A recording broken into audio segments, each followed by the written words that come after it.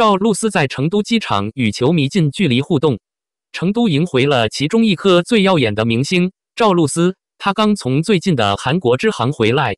这位演员以其在热门中国电视剧中的角色而闻名。她抵达熙熙攘攘的机场，周围是一群热情的粉丝。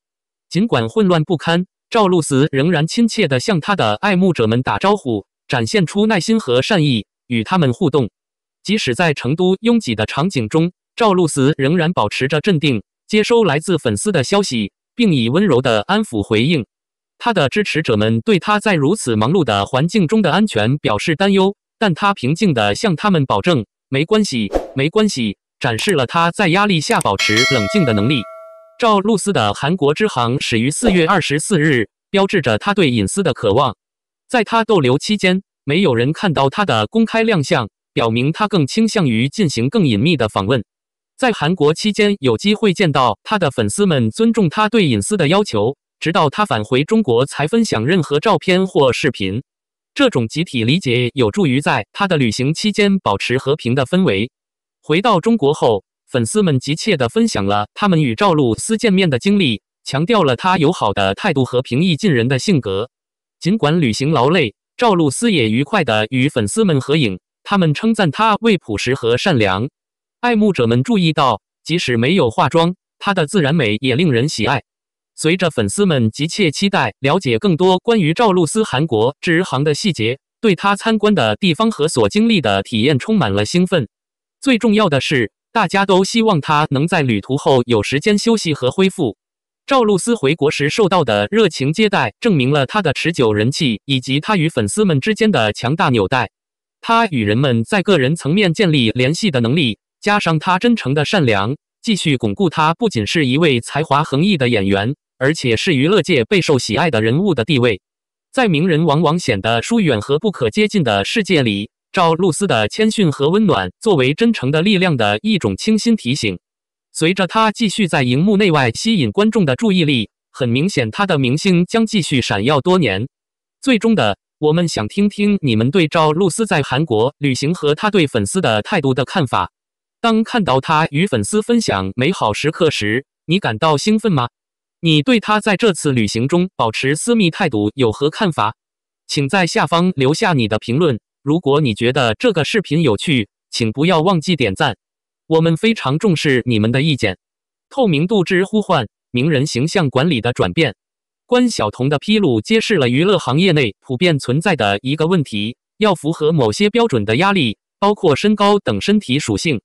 在形象在行业中扮演重要角色的情况下，名人的身高常常成为一个备受关注的话题，特别是在公开场合。他们与同行相比较时，在名人聚集的晚会或公开活动中，身高成为比较的一个焦点，并不令人惊讶。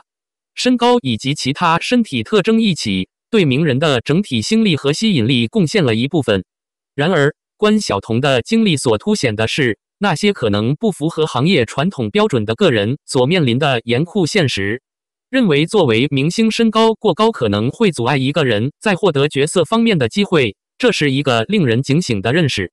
这说明了许多名人被期望在其中运作的狭窄范围内偏离常规，可能导致边缘化或机会有限。在能见度和可访问性至关重要的行业中，这一披露凸显了那些不符合被视为理想的人所面临的挑战。此外，对身高代表性真实性的强调，进一步凸显了对名人外表的审查。对于男性名人的期望是，他们的鞋类不应过分增加身高，这表明了对于维护精心策划形象的细致关注。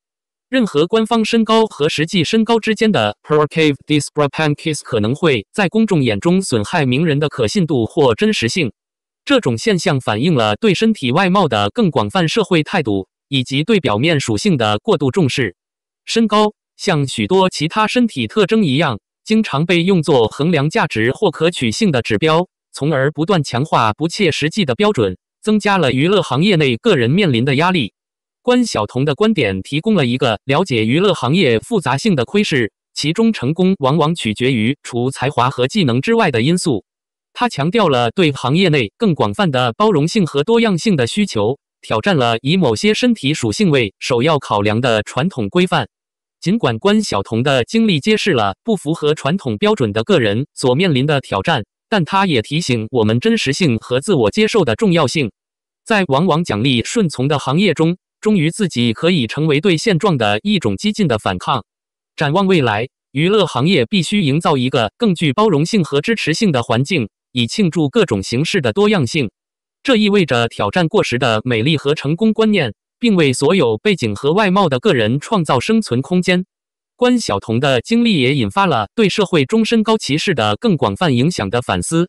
身高歧视像其他形式的歧视一样，可能会产生深远的后果，影响个人的自尊心、机会和整体福祉。在娱乐行业，能见度至关重要。身高偏见可能加剧现有的不平等现象，并延续刻板印象。此外，关晓彤的启示引发了对身体属性应该如何影响选角决定的思考。虽然可以理解某些角色可能需要具有特定身体特征的演员，但将身高作为选角决定的决定性因素，可能会限制和排斥一些人。通过优先考虑真实性和才华，而不是肤浅属性，行业可以朝着更具包容性和精英制度的选角方式发展。此外，关晓彤的故事凸显了娱乐行业需要更多透明度和问责制的需求。身高差异以及其他方面的名人形象管理，凸显了诚实代表和正直的重要性。通过培养开放和诚实的文化，行业可以与观众建立信任，并创建一个更真实和可持续的娱乐生态系统。最终，关晓彤的经历成为娱乐行业中关于代表性、多样性和包容性更广泛讨论的催化剂。这是一个提醒：成功不应仅仅由对任意标准的服从来决定，而应由才华、毅力和真实性来决定。通过挑战根深蒂固的偏见，拥抱人类多样性的全谱，娱乐行业可以成为一个更加充满活力、包容和公平的空间。如果身高太矮，男明星会受到影响，因为这会导致整体形象不佳，降低颜值，同时还会影响接戏的机会。身材不成比例。可能让他们难以展现出帅气的形象。如果身材比例相当完美，那么在拍戏时就会呈现出紫萱和魔尊重楼那样的效果。